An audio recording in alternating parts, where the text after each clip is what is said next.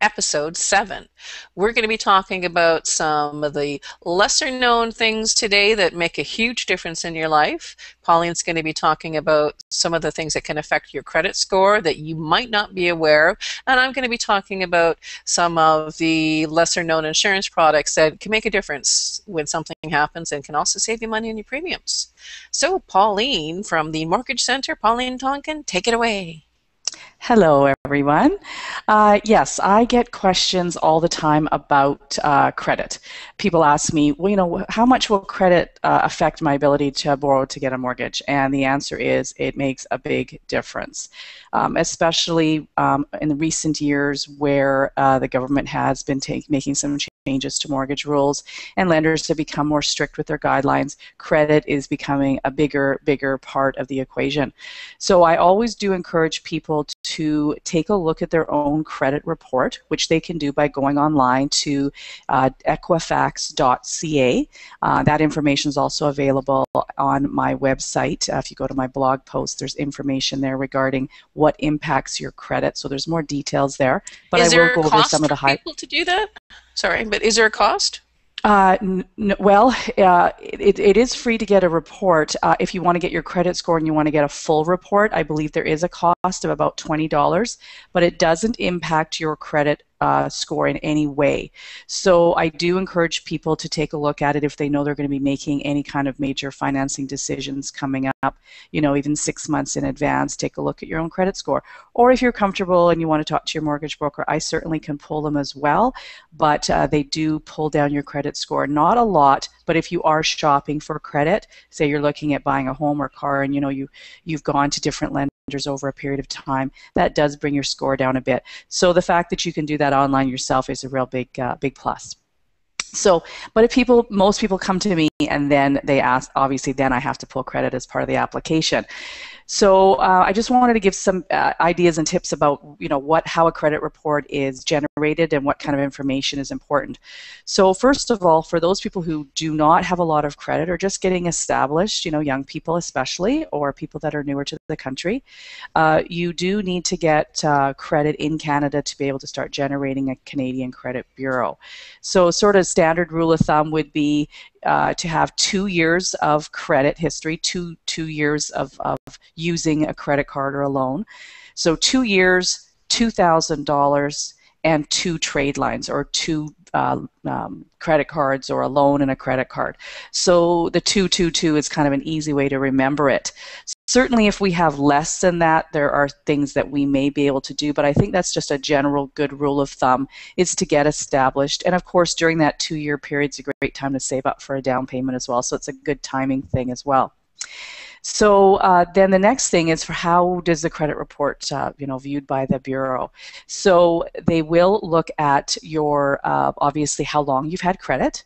They will look at how much your limits are they will look at how um, close to those limits you are in your credit cards. So for people that are maxing out their credit cards or going over their limit, because that is possible to do, especially if you've got, you know, you're maxed out and then a payment comes through, um, it will go over the limit. Those things will uh, will uh, drop your credit score quite dramatically, being close to the max and or over limit. So always try to keep your credit card balances. Obviously, try to pay them off every month. That's ideal, but uh, certainly keep them below the 65 percent of, uh, of the maximum uh, credit amount. So if it's a $1,000 limit, try not to go over $650, otherwise that will bring your score down when it reports. So what if someone has, say they've had two or three credit cards and they, you know, they get the one paid off and then they think, oh, I'm just going to cancel it so it, you know, just get rid of it so it's not affecting my score anymore. Is that a good thing or is that a bad thing? Uh, well, it, it, it kind of depends, uh, but generally speaking, yes. If you cancel credit cards, uh, that history of how, say you've had that credit card for six years, you've had a good track record on it, all of a sudden it's no longer reporting on your bureau, and you have a credit card that's only been reporting for a year or two. So the credit bureau says that's your current information. So it sees you differently than it did before if you had that longer credit history. So you might be better off just tucking it back in a drawer and not touching it and just leaving it rather than actually canceling it. Yeah, it's certainly a good idea to, before you make any of those kinds of decisions, to discuss it with your financial planner or your or your um, your mortgage broker. Certainly, for people who are going through credit counseling, credit counselors are great for um, reviewing your budget with you and uh, strategies for credit card management or to to close down accounts, that kind of thing. So it is it is important to have those conversations and be really clear before you make a rash rash decision, right? Um, so uh, yeah, so the amount of credit you have available to you, um, how you're paying your credit cards in terms of if you're maxing them out or not, those are, are, are things that are considered in a credit score. In addition, obviously late payments are a big deal. Uh, pay them on time and you'll be fine. Um, if you have collections, so if you have missed many payments and you're getting a collection letter and that then is updated on your credit bureau that you're in collections, whether that be for a credit card even for parking tickets. That's a big one. Or fitness clubs. You've registered, you paid for three years, or you've signed up for three years. You decided to stop making payments, or whatever the reason might be. They go to collection and they will sit there until you pay that out. That is going to sit there and that will be an issue. So if you have any of those types of things, another reason why to pull your credit report because then you can see it on there and then you can be aware of it. A lot of people have collection letters they've received or phone calls and they ignore them. It will come back to bite you. So I always just say pay the bill even if you think that you are in the right. It is you're not going to win unfortunately, um, in most cases. So you do have to sort of get those sorted out. I mean, your credit score and your credit report is part of your identity. It's very important that you keep it in good shape because you will be rewarded for that. And also, I mean, mistakes can occur as well. Because I mean, one of my friends, she, you know, couldn't get a credit card, and she's like, you know, wondering why. I mean, she, you know, she had a home, she was making good money, her, she wasn't behind on any payments, and she found out that years ago when she'd paid off a line of credit at a bank, the bank hadn't cleared it. Yes. So she that, had to go in and talk to them, and then you know it was immediately fixed and everything was fine. But it's like, you know, it's it's you know mistakes do happen so make sure that you pull it so things that are on there that perhaps shouldn't be and are affecting you get cleaned up Absolutely, that does happen. Uh, sometimes registered charges against a mortgage, such as lines of credit, don't get cleared. Uh, also, people who have paid off their mortgage, the bank does not then contact the bureau or, or whoever to let them know that that's been paid out necessarily. And so, uh, even registered on title, the same thing. So if people pay out their mortgage, uh, it's very important to yourself make follow up on that because it may sit there. Um, I had a client recently; they had paid off their mortgage uh, 15 years ago, and it was still sitting there because they hadn't gone back for credit or anything. So they didn't realize, right? Um, anyway, so it was still showing that they had a mortgage when in fact they didn't. So it, we, you know, obviously we cleared it up quickly, but it, it just goes to show you that mistakes, you know, can be there. It, it is your identity. Do your due diligence. Check on it. Uh, on occasion, and certainly when you are going to be, um, you know, making some major buying decisions in advance. That is uh, an important part. Um, and obviously, bankruptcy, things like that, are obviously a big impact on your credit score. Uh, so, um, and other things to consider is identity theft. That's a big thing right now. We have had some uh, credit bureaus where other people's information, because their names are similar or uh, family members banking at the same bank, the, the information gets cross matched. You've got one person with some credit issues, the other person doesn't. So, again, it is uh, obviously technology based. It's a matter of sharing information and it being updated um, and that's not always going to go perfectly. So uh, that is why you need to work with professionals to make sure that you know you you you know you're on top of it and that you get it fixed as soon as possible. So credit scores definitely make a big difference on how much you're going to be able to borrow, how much you're going to be able to qualify for, and the rate. The better the better your credit score, the better chance you have to borrow more more money if that's what you want and you can afford it um, at the best rates. So it is uh, prudent to take the time to take care of your credit because it's going to help you in the end. Yeah, and I think I would think even if you're not trying to buy anything, even if you're not looking at financing, I think you should probably check it once a year just to make sure that nothing shows up that shouldn't. Absolutely. Excellent. So thank you. Thank you for that. So, along those lines of, you know, taking responsibility and kind of keeping track and finding out about those little things that you didn't know about, let's face it, you know, it's like, was it over 90, 95% of people they say are living paycheck to paycheck? And if you didn't have that paycheck, uh, you're going to be in dire straits pretty soon. What happens if, you know, you, you end up in a car accident or something, you know, something happens and you can't work for the next, you know, few weeks or possibly a few months or longer? It's like, how's that going to affect your life? Disability insurance, I've said it before, I'm going to say it again, it's really important and it costs way less than you think.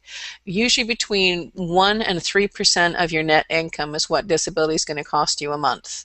So if you can't live off 95, 90, 97% of your income, I can guarantee you can't live off zero.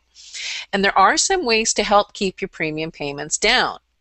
With disability, of course, you have a waiting period before you can start getting benefits, and then you have a benefit period. That's how long you're going to get your benefits. Some easy ways to keep your premium payments down is by stretching out your benefit period. Instead of having a zero days where you start getting paid as soon as you have an accident or as soon as you're off, maybe stretch it out 30 days, 60 days, or 90 days. That can sometimes save you over $100 a month in premiums. And you're thinking, okay, you know, but 90 days, you know, I, I might be in trouble if I was off work for that long. I can't guarantee I'm going to be okay, especially if I have some extra, you know, extra expenses because of my injury. There's some cool little products that can fill that gap. Uh, one of them is a great one is fracture insurance because a high percentage of accidents that do take people out quickly and uh, cause them to un- be unable to work are something like an accident where you probably are going to incur a fracture fracture insurance costs between seven. Uh, one plan is seven dollars a month. The other plan is twenty dollars a month, and they pay you out a tax-free lump sum, depending on the severity of your break. How the you know the bigger the bone, you know if you break your break your finger, you might get five hundred bucks. If you you know break a femur, you're going to get a few thousand. If you have a skull fracture, you're going to get more thousands. So it's something to consider because they're easy to get and they kind of fill that buffer in between there and it just can make a huge difference. Fracture insurance is also great for kids. For $7 a month, you can make sure that if something happens to your kids that you know you're going to get the money you need because you're going to be the one taking time off work. I'm sure pauline if something happened to one of your kids it's going to cause you time away from um, work and it could possibly affect your income stream. Am i right? Yeah absolutely. Yeah. It's so, a great product. Yeah so for seven dollars a month you know times by how many kids you have you know you can have that protection in place. So it's it's those little products that don't cost a lot, aren't talked about a lot, so a lot of people aren't aware of them, that can have a big impact in keeping your lifestyle going. That's the whole purpose of insurance. We're there to make sure that when bad stuff happens, you or your family has the money to be able to deal with it so life goes on and you don't suffer. And that's, you know, it's just as simple as that. So, you know, talk to your broker, ask about these little products, find out what the difference is, and, you know, get some disability in place. It's not expensive. Like I said, you'd be surprised you know it's like you know yeah there's some cadillac plans that you can you know add riders and make it really expensive but just get some protection in place which is better than nothing and your family and you will be protected. You'll be amazed at the peace of mind that you have. And then when, you know, if something does happen, you're okay. It's going to be all right. So that's kind of my sorry main message for today. So you know, summer's coming, and also to make sure get your travel insurance. Uh, you know, say you might have it on your credit card. I implore you to really actually read the fine print and make sure of what you've had because in our industry we hear so many people who thought they were covered and discovered that they weren't. They were on the trip for too many days and the insurance company wouldn't cover them for any of it. It's a very inexpensive product. I can help people out with it over the phone. Um, you can buy an annual trip to cover you for, you know, or annual uh, policy to cover you if you just cross-border shop, and it's usually like I don't know, 50 bucks a year. so considering what an accident can cost if you cross the border and get in an accident um, or be, or fall sick on a vacation, it, it you know it's like it's just ridiculously cheap for the protection you can get. Yeah, that's so, a great one too. Yeah, it's you know it's it's the, that little thing that can really make a difference if something happens. You know nobody wants anything bad to happen on vacation, but as we all know, life can throw you a curveball, and just be prepared. Excellent. Yeah. So have a great day. Enjoy the summer, and we'll see you in a couple of weeks. And we'll be talking about another cool topic. Stay tuned, and we'll let you know in a couple of weeks.